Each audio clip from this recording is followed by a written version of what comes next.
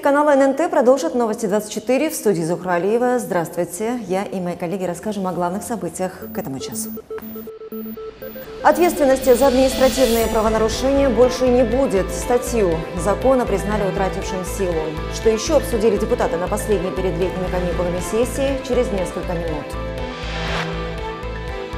Отдых с максимальным комфортом. Артем Сдунов посетил туристический хаб на Сулакском каньоне. Афера не прошла. Житель поселка Ленинкент пытался сбыть фальшивые регистрационные знаки. Ситуация на границе с Чечней, назначение главного прокурора республики и изменения в ряде законопроектов. Эти вопросы обсудили сегодня депутаты Народного собрания на последней перед парламентскими каникулами сессии. Обо всем по порядку расскажет Зумруд Гамидова. Эту сессию ждали многие. Неоднозначная ситуация с границей Чеченской Республики вызвала волну обсуждений, а слухи на интернет-площадках только добавили температуры и без того жаркому лету. Ясность внес Хизри Шахсаидов, обозначив позицию парламента. Было принято решение на уровне полпреда э, в этом году никаких разграничительных вот этих по границе не предпринимать действий все перенести на следующий год, хорошенько подготовиться, изучить документы и в следующем году эту работу продолжить э, с учетом того, что будут привлечены э, руководители районов, муниципальных образований, джамааты районов и населенных пунктов. И все это будет делаться открыто и прозрачно. Вот такая информация. Я бы просил с пониманием отнестись к этому и сейчас не будоражить и общественность, работать с молодежью. Кто постарше, вы хорошо понимаете ситуацию. Поэтому не надо раскачивать ничего, а надо благоразумие призывать и спокойно Э, я думаю, все мы вопросы порешим. Следующим вопросом стало назначение Алексея Ежова на должность прокурора республики. Кандидатура была внесена генпрокурором России. Выступая перед депутатами, Ежов заявил, что ему понятна проблема Дагестана, главная из которых – это своевременное получение заработной платы, вопросы занятости и другие. В настоящее время мне хорошо известен обновленный коллектив прокуратуры республики и его потенциал. Понятны и те проблемы в Дагестане, которые требуют нашего внимания в первую очередь. Без внимания не останется ни один участок надзорной работы. В ходе сессии рассмотрели ряд поправок к некоторым законопроектам. Так, к примеру, если раньше на граждан распространялись штрафы за загрязнение территории, то теперь после внесенных поправок закон признали утратившим силу. И городские власти лишены полномочий привлекать к ответственности жителей. Против этого выступил глава города Салман Дадаев. Если мы отменим эту статью, мы лишим возможность административную комиссию, административно-техническую инспекцию города Махачкалы привлекать нарушителей за нарушение санитарии в городе Махачкале. И каждый желающий сможет выносить мусор без каких-либо последствий. Каждый желающий сможет рассыпать строительные материалы без каких-либо последствий. Каждый желающий может, сможет разрывать улицы города Махачкалы без каких-либо последствий. В связи с чем я прошу воздержаться, уважаемые депутаты, и не лишать городские органы полномочий привлекать к ответственности и регулировать данный вид деятельности и привлекать административную ответственность за нарушение, которые я перечислил, Э, дабы стимулировать воздержаться от таких действий. Всего в повестке дня депутаты рассмотрели порядка 28 вопросов. Парламентарии уходят на летние каникулы. Следующая сессия состоится уже в сентябре. Зумруд Гамидова, Магомед Магомедов, телеканал ННТ, Махачкала. Артем Сдунов посетил туристический хаб на Сулакском каньоне. Туристы теперь имеют возможность отдохнуть после дороги и пообедать здесь в комфортных условиях. Глава правительства проверил готовность всех инфраструктурных объектов. Несмотря на то, что официально центр пока не открыт, у отдыхающих он уже пользуются популярностью. Отметим, именно в таких местах в первоочередном порядке будут устанавливаться знаки туристской навигации, оборудоваться парковки, пункты питания и приведена в порядок прилегающая территория. Всего проект предусматривает создание на территории республики восьми туристических хабов. Представители муниципалитетов Дагестана изучат основы государственной кадастровой оценки. Первый день семинара обучения стартовал сегодня на базе Университета народного хозяйства. Для оказания методической помощи приглашены федеральные специалисты. На протяжении трех дней участникам и приглашенным экспертам предстоит совместно разобрать основные вопросы и трудности в этой сфере. Более подробно расскажет Патимат Ханапова. В этом большом зале собрались около 200 представителей всех муниципалитетов республики. Их роль в новой системе кадастровой оценки значительна. Для бюджетного учреждения они являются источником информации о территории и об ее экономике. Большие надежды на них в этом нелегком для нашей республики деле возлагает и правительство. Мы сейчас работаем в рамках поручения главы Республики Дагестан и хотим создать такое профессиональное сообщество среди муниципальных команд. Для нас это очень важно. Мы все понимаем, какая ответственность лежит на нас по этой работе, и мы должны совместно с вами максимально качественно, прозрачно и понятно для всех ее выполнить.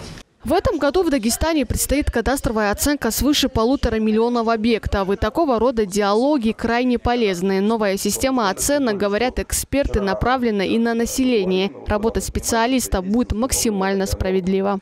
Справедливость будет заключаться в том, что кадастровая оценка не будет и не должна быть выше рыночной оценки. Она должна быть чуть-чуть ниже рыночной оценки. Для того, чтобы скорректировать э, результаты промежуточных э, отчетов, мы вывесим на 50 э, дней результаты на официальных порталах. У населения будет возможность свой увидеть результат – и его скорректировать в внесудебном и досудебном порядке. У каждого муниципалитета в этом деле свои подходы. Допустим, система кадастровой оценки объектов равнинного Дербента и горного Курахского района будут отличаться как ввиду географических, так и экономических особенностей. Свои особенности имеет и столица региона. По словам экспертов, в Махачкале самый большой фонд земельного участка, целевое использование которых вызывает массу вопросов.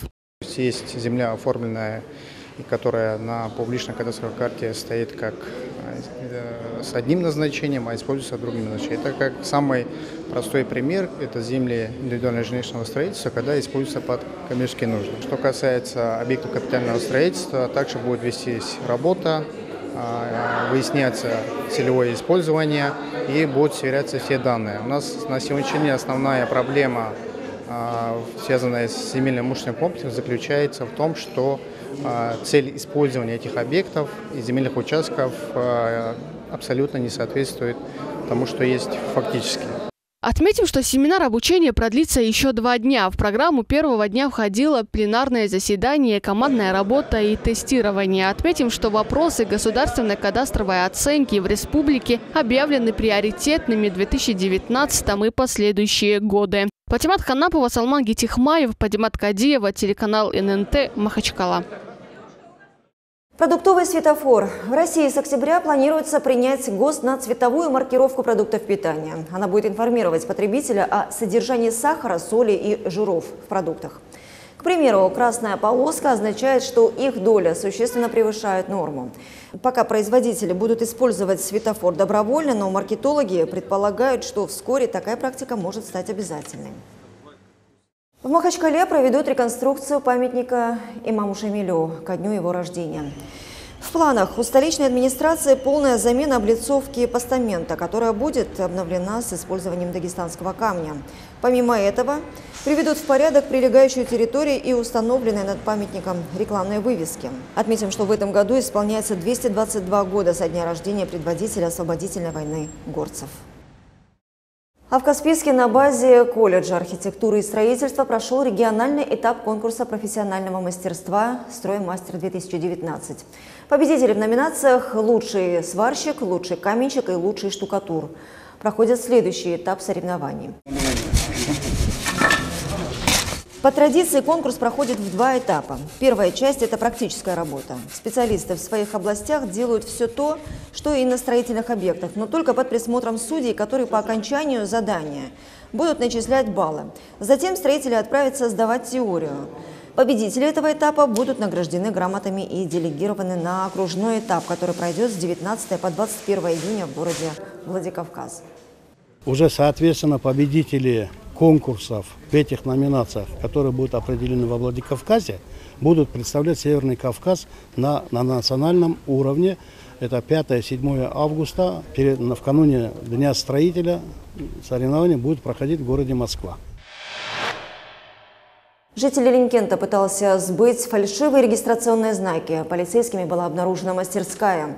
В ходе ее обследования изъят станок по производству номерных знаков, бобины от станка, матрица, металлические пластины в количестве 15 штук и другие элементы незаконной продукции. Злоумышленник задержан, идет следствие. Далее обзор кратких новостей в рубрике «Дайджест», затем продолжим. Не переключайтесь. Каспийском море утонул подросток. 12-летний мальчик утонул 12 июня, но спасатели нашли тело только на следующий день. По неподтвержденным данным, ребенок ушел в море, не предупредив родителей, а поиски тела усложняли высокие волны и сильный ветер.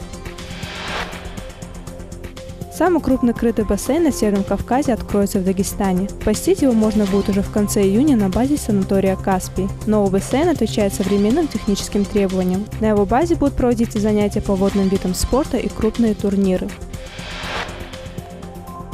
В Кулинском районе пройдет фестиваль канатоходцев. Праздник имени народных артистов России Рабадана Абакару и Рагига Джекурбану пройдет в седьмой раз в рамках фестиваля фольклора и традиционной культуры «Наследие». Будут представлены подворья сел района с предметами старинного быта и национальной кухни и выступления канатоходцев из села Цаукра-1, Республиканской школы циркового искусства города Дагагни и группы канатоходцев Пехлеман из Махачкалы. Празднование пройдет 20 июня на центральной площади села Ватчи Кулинского района. Теннисистка из Дагестана стала серебряным призером международного турнира. Летисия Тимирханова стала вторым призером турнира Аудо Алмер. Соревнования прошли с 9 по 15 июня в голландском городе Алмер. Дагестанская спортсменка провела 5 выигрышных встреч, но в финале уступила корянке голландского происхождения Мин Чае Ким.